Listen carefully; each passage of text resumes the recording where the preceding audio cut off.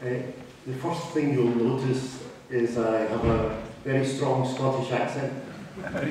Um, you know, a lot of Americans and even English people are thrown by this. So I will, uh, I'll speak slowly and at least at the start, and I hope you adjust to it. I think you know, Danes probably adjust to the Scottish accent uh, more easily than Americans, but we'll see. Um, th th this story began for me almost exactly a year ago. It was uh, May 31st.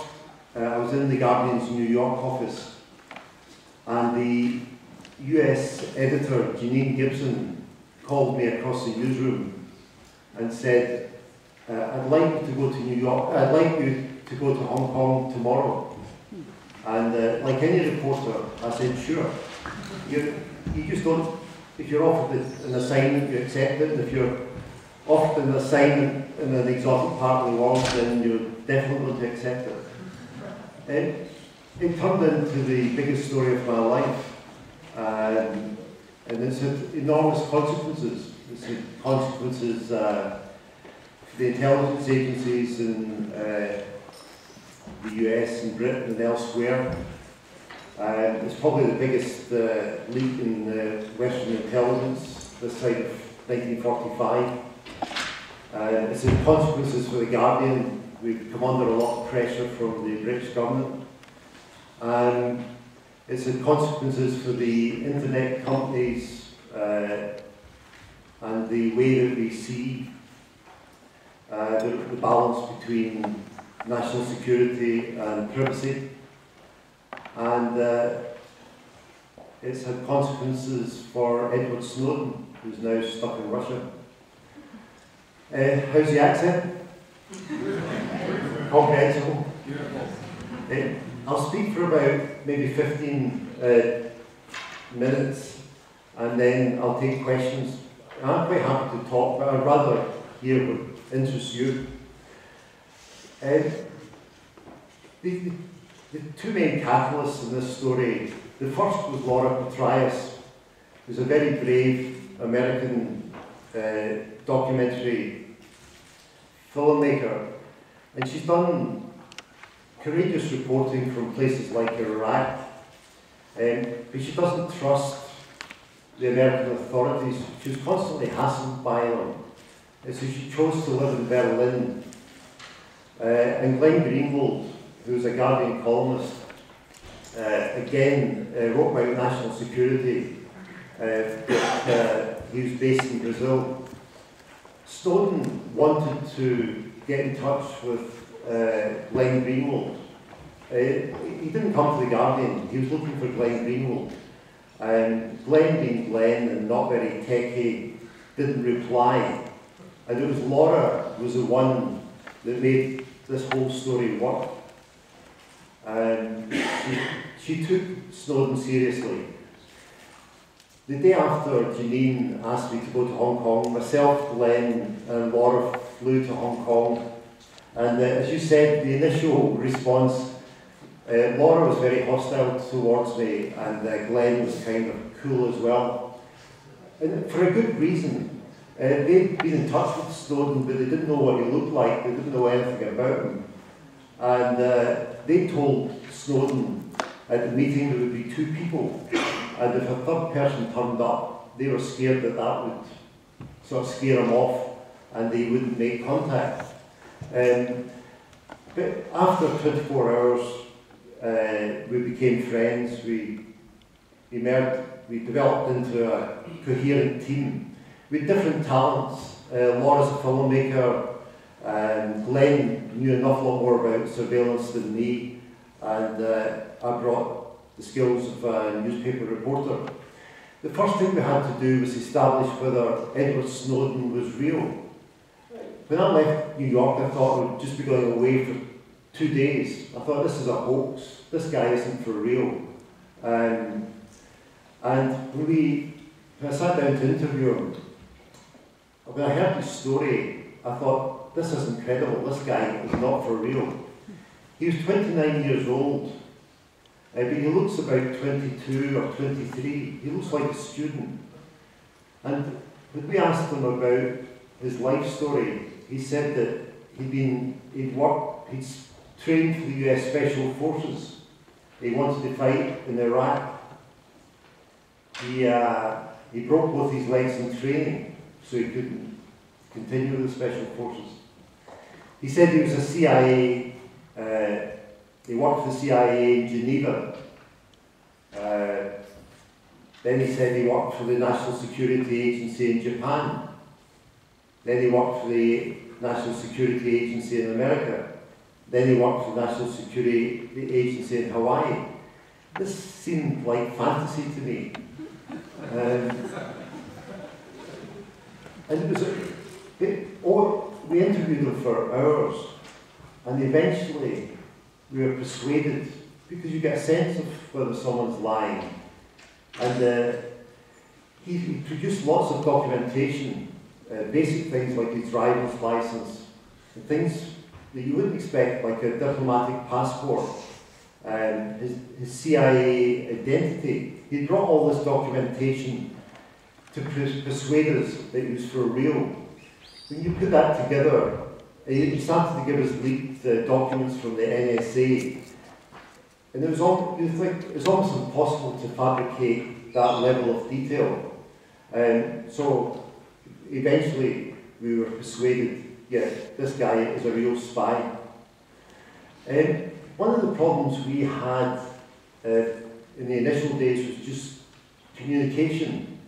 Um, you can't, can't phone up the editor and say, we'll get a real spy, because um, you know, we learned straight away that anything we said in Hong Kong, people could listen to. Um, before I left New York, almost as a joke, the Guardian US editor Janine Gibson said that if he's for real, send me a message saying the Guinness is good. Uh, she knew that, she knew me well enough that I'd be drinking Guinness and, uh, uh, and if he wasn't real, uh, to say the Guinness is bad. Uh, so I sent a text, the Guinness is good, and everything. The coverage started after that. It, that, that seems sort of flippant and jokey, and that's, that's because at the time we thought this guy isn't for real. So when we were in New York, there was a sort of sense of uh, you could make a joke about it. But by the time we were in Hong Kong, we weren't joking anymore. We realised this was enormously serious. Every day we went to see Edward Snowden, we thought he wouldn't be there. We expected the CIA or the Hong Kong police to have snatched him. And the, the doc, after a few days of interviews, we published the first story. It's about mass surveillance in America, Verizon. Then we did one Prism about the relationship with the internet companies, Facebook.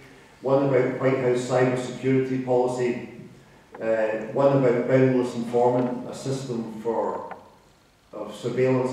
And then on the Sunday, uh, there was a video of Snowden uh, saying, yes, it's me, uh, I'm not going to be an, an anonymous source, I'm going public.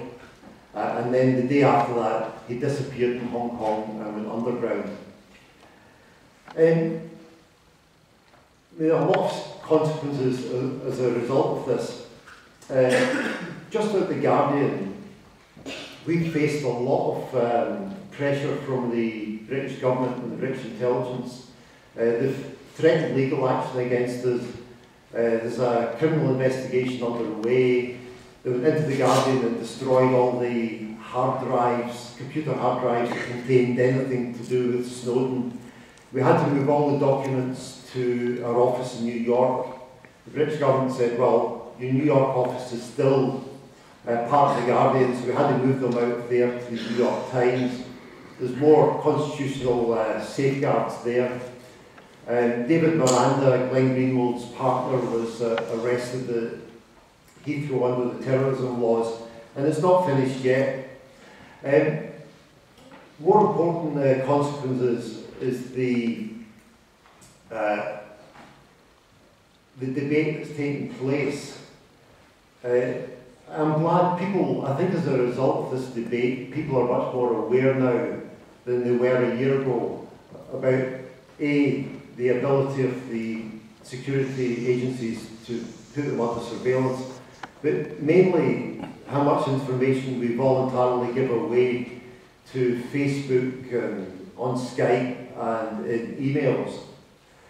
Um, so I'm glad we're having uh, uh, this debate. About last autumn, uh, The Guardian and Glenn Greenwald and Laura Poitras Um, that's Um,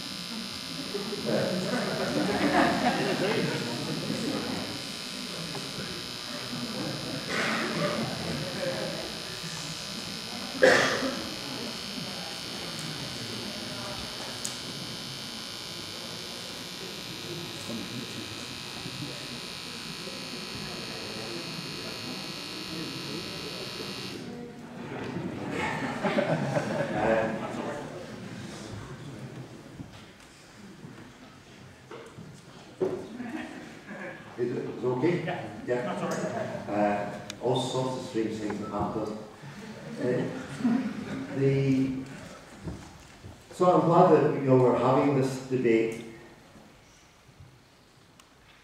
I think what happened in the last 20 years is the NSA and GCHQ, because of the explosion in social media, acquired this enormous capability. Um, because of Facebook and Skype and Google and uh, chat lines, they were able to amass this fantastic amount of information on any individual that they, they wanted. There wasn't a corresponding uh, change in the political oversight or the judicial oversight. Um, and that's the debate that's taking place in uh, America uh, and to a lesser extent in Britain. Uh, there is a, in Britain there hasn't been the same debate, uh, but there is an argument that uh, uh, the political oversight that exists at present is totally inadequate and uh, there should be some change. Um,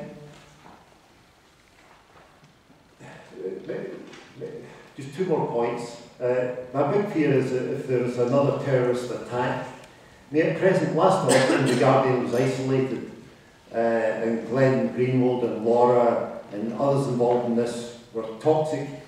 Uh, now suddenly we've received prizes, the Pulitzer and Polk, and everything's fine. If there's another terrorist attack, and I'm sure there will be eventually, uh, then the mood may change again. They'll say, the national intelligence agencies will come out and say, well, it's because uh, you revealed all these details, we weren't able to monitor the terrorists properly, and it's your fault. And maybe the mood changes again and we're toxic again. Uh, there's a real risk of that. Um, the final point was Edward Snowden himself. He never wanted to go to Russia. Uh, he was badly advised by WikiLeaks. Um, he's ended up there. Ideally, he would like to be in Western Europe. Um, if uh, Denmark would give him asylum or Germany would give him asylum, he would come here. Uh, I know that's not very likely given the governments that are in place at present. Um, and he'd much rather go back to America. And his lawyers there are working uh, to try and change the political climate, to try and change the mood in America. So perhaps he could do some sort of deal that would see him go back to America. But that doesn't seem very likely either. So uh, he seems to be stuck in Russia uh, for quite a long time to come.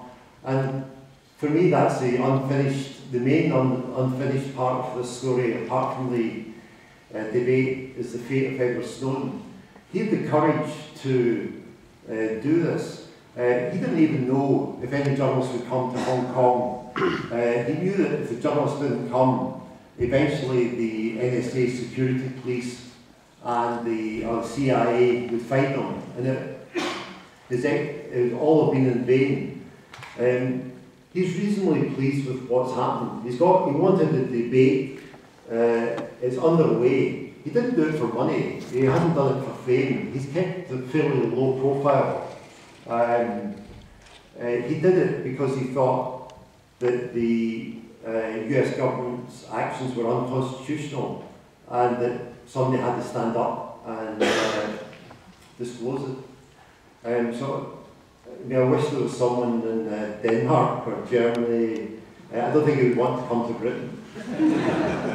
and I'm happy to take questions.